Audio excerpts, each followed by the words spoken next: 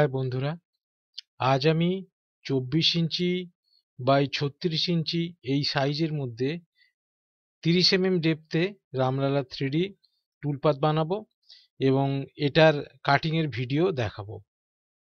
দেখুন, সবার প্রথম আমরা চব্বিশ বাই ছত্রিশ এই সাইজের একটা পেজ নেব ফুল রিজলিউশন রাখব, এরপরে ইউনিটটাকে মিলিমিটারে কনভার্ট করে ওকে করব। তারপর উইন্ডোজ সেখান থেকে টাইল ভার্টিক্যালি করে দুটো ভিউ আমরা এইভাবে নিয়ে নেব। অরিজিন রাখব এই লেফট সাইডের কর্নারে নিচের দিকে। রিলিফ ইম্পোর্ট এখান থেকে পঁচিশ এম এম রামলালাজির যে মূর্তি আছে সেটাকে নিচ্ছি। দেখুন নেটে যে মূর্তিটা অ্যাভেলেবেল আছে ওটার হাইট অনেক বেশি, তো অনেকে ভাবছেন যে সেই মূর্তিটাই বোধহয় দেখাচ্ছি। না, এটা মডিফাইড ভার্সান দেখুন, এটা পঁচিশ এম দেখতে পাচ্ছেন? এবং থ্রি ভিউটাকেও আমি জুম করে দেখাচ্ছি, দেখুন। এর ডিটেলিংও খুব সুন্দর করে মডিফাই করা আছে, দেখুন।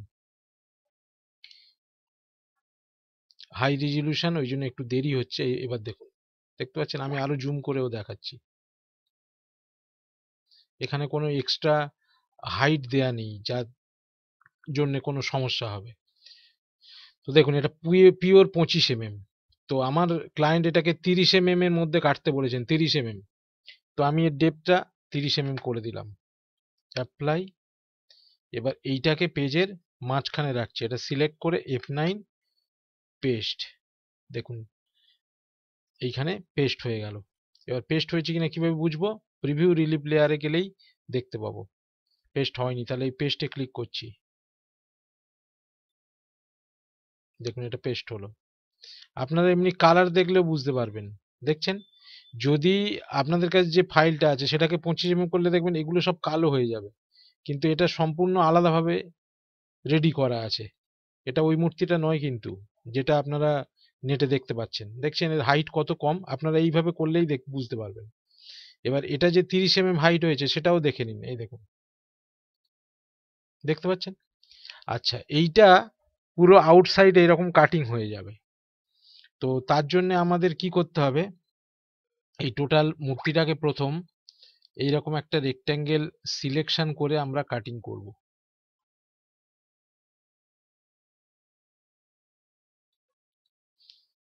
এটাকে এফ নাইন করে দিলাম, পেজের মাঝখানে রেখে দিলাম। এই নিচের দিকটাকে আর একটু বড় করে নিচ্ছি। তাহলে অল্ট প্রেস করে এটাকে আর একটু বড় করে নিলাম, ব্যাস। এই রকমই থাকল। এটা থ্রি কাটিং করার পরে এই আউটলাইনটা কেটে যাবে। আচ্ছা এখানে থ্রি কাটিং করার সময় আর একটা জিনিস আমরা করব, সেটা হচ্ছে এইরকম জায়গায় আই প্রেস করব, এইরকম জায়গায় আই প্রেস করব। কারণ ওই জায়গাটা অত এক্সট্রা কাটিং করার আমার দরকার নেই।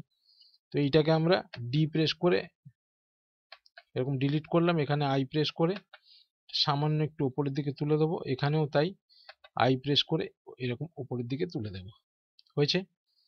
এবারে আমরা যে কাজটা করব, সেটা হচ্ছে এটাকে সিলেক্ট করব সেপ এডিটারে যাব। গিয়ে point one M M merge করে দেবো। ঠিক আছে?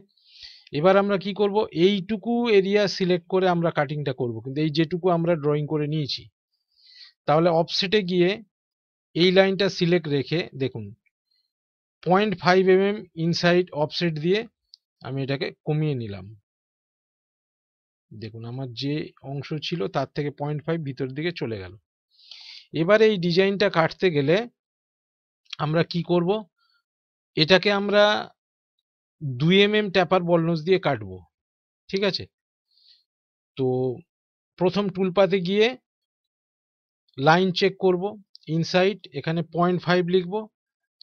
পয়েন্ট ফাইভ লেখার পরে six M M end mill নেব। তারপর এই জায়গাটায় পয়েন্ট ফাইভ রেখে ওকে সিলেক্ট। এবার মেটেরিয়াল, আমার ক্লায়েন্ট বলেছেন যে পঞ্চাশ এম এম মেটেরিয়াল আমাকে দেবেন। তো এখানে পঞ্চাশ এম এম লিখলাম ওই জন্যে। Top offset okay. এইবারে নাও অপশানে ক্লিক করে দিলাম। তাহলে লাইন চেকের টুলপাত কমপ্লিট হয়ে গেল। এইবারে আমরা করব কি, এই জিনিসটাকে রাফিং করব। তাহলে এই রাফিং এর নিলাম সিলেক্টেড ভেক্টর রাফিংটা আমরা সিক্স এম এম মিল দিয়ে করব। এবং যেহেতু আমার তিরিশ এমএম ডিজাইন আছে, আমি পাঁচ এমএম করে রাফিং দেবো। পাঁচ এমএম করে রাফিং দিলে পঁচিশ এমএম রাফিং হবে লাস্ট পাঁচ এমএম পড়ে থাকবে। তাহলে দেখুন, এখানে পাঁচ এমএম দিলাম ওকে সিলেক্ট নাও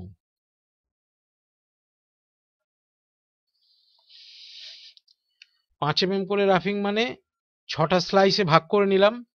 তো ছটা স্লাইস স্লাইসে ভাগ করলে পাঁচটা স্লাইস মেশিনে কাজ করবে, শেষের অংশটা পড়ে থাকবে। ওইটা দুই এম এম ট্যাপার বলনস দিয়ে আমি কাটিং করব। এবং পুরো কাটিং হয়ে গেলে আমি ভিডিও সহ এটা আপলোড করে আপনাদের দেখাবো। আপনারা দেখে নেবেন যে রেজাল্ট কীরকম এসছে।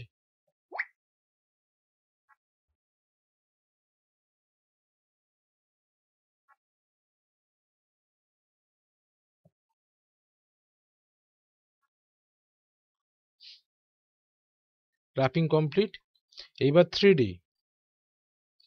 তাহলে থ্রি করার জন্য সিলেক্টেড ভেক্টর নেব।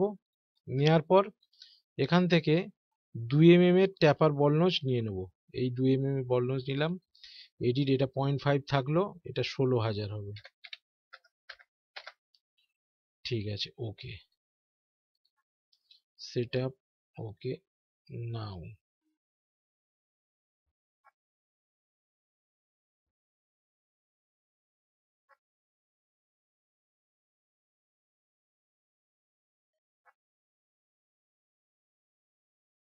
অনেকেই আমার কাছে রিকোয়েস্ট করেছেন যে এই ফাইলটা কাটলে ভালো হবে কিনা।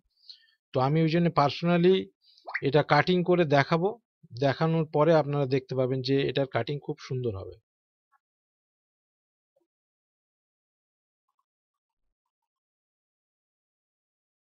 এবার এটাকে ক্লোজ করে দিলাম।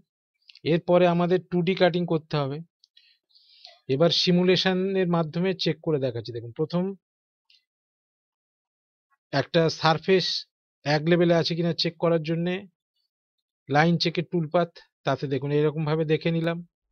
এরপরে জেট রাফিং জেট রাফিংয়ে এইভাবে রাফিংটা হবে।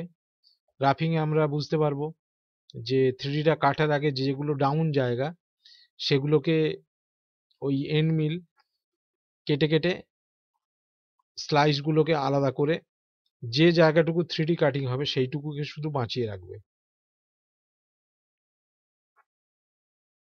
এই জিনিসটা পাঁচবার ধরে হবে।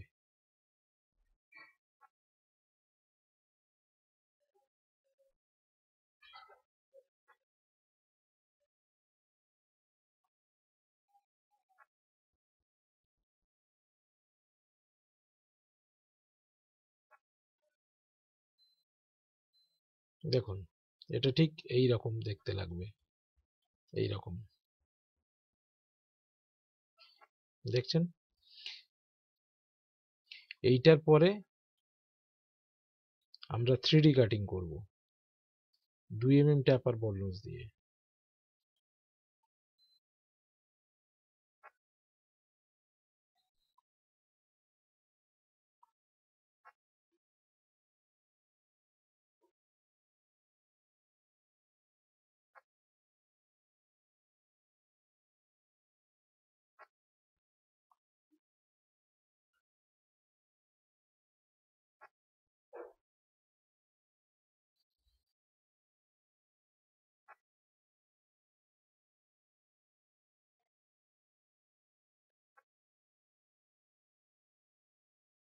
দেখুন থ্রিডি কাটিং হলে জিনিসটা কীরকম দেখতে লাগবে?